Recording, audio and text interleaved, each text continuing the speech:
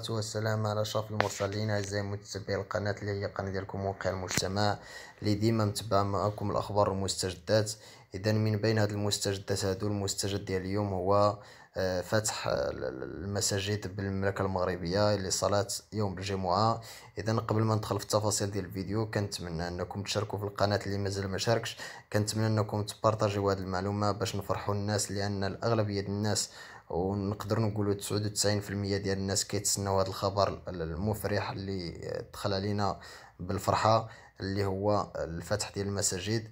كنتمنى انكم تبارطاجيو وديروا جيم الفيديو واللي عنده أي تساؤل ولا أي معلومة يفيدنا بها في les commentaires.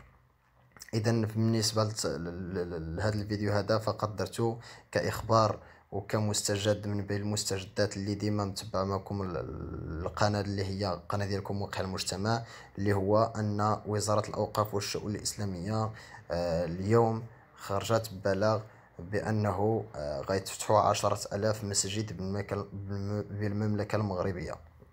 اذا باش أنني آه، كما كتعرفوا بأن القناة دائما خصها خصني أنني نعطيكم الدليل القاطع بأنه فعلا هاد الهضرة اللي كنقول راه ماشي عن فراغ لابد انني نقلب على البلاغ من البلاغ رسمي من الحكومة ولا من تلك الوزارة إلى آخره. اذا كما غنشوفوا هنايا في الصورة هذا آه، البلاغ هذا كما كتشوفوا المملكه المغربية وزارة الأوقاف والشؤون الإسلامية آه، بالطومبو ديالها بكل شيء. اذا هذا البلاغ هذا خرج خرج اليوم 13 أكتوبر 2020 آه، الموضوع من ديال هذا البلاغ هذا هو إعادة فتح مساجد جديدة وإقامة صلاة الجمعة.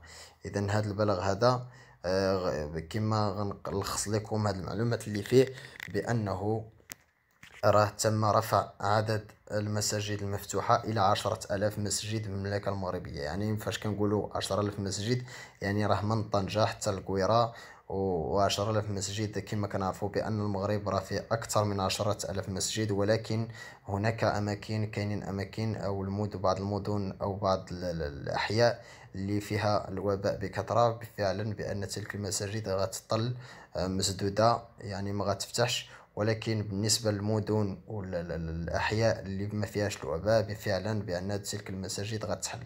إذا هذا الشيء اللي كاين في هذا الفيديو هذا وحاجة أخرى أن إقامة فوقاش غيبدأ هذا غيبدأ هذا البلاغ يتطبق يعني أنه غيبدأ من يوم الجمعة 16 أكتوبر. اليوم يوم الثلاثاء الأربعاء الخميس يوم الجمعة غيبداو يصليو في الجوامع يصليو صلاة الجمعة. ولكن أن الوزارة وزارة الأوقاف والشؤون الإسلامية دارت واحد الشروط آه، واحد الشروط اللي كما غنقولها لكم بأن راه دارت تنسيق غدير التنسيق مع السلطات المحلية من أجل اختيار المساجد التي آه، ستفتح والمحدد أو المحدد عددها بقائمة. يعني آه، السلطات المحلية هي اللي غتختار المساجد. كما قلت لكم غتختار المساجد اللي غتفتح يعني غتختار المساجد اللي في الأحياء ولا في المدن اللي ما فيهاش الوباء بزاف.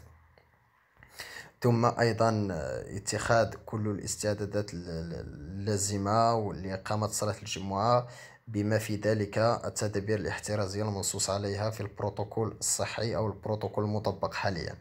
اذا هذو هما الشروط. ثم الشرط الآخر اللي هو آه، الشرط الآخر اللي هو حث الخطباء يعني حث الفقهاء على ألا تتعدى خطبة الجمعة خمسة عشر دقيقة.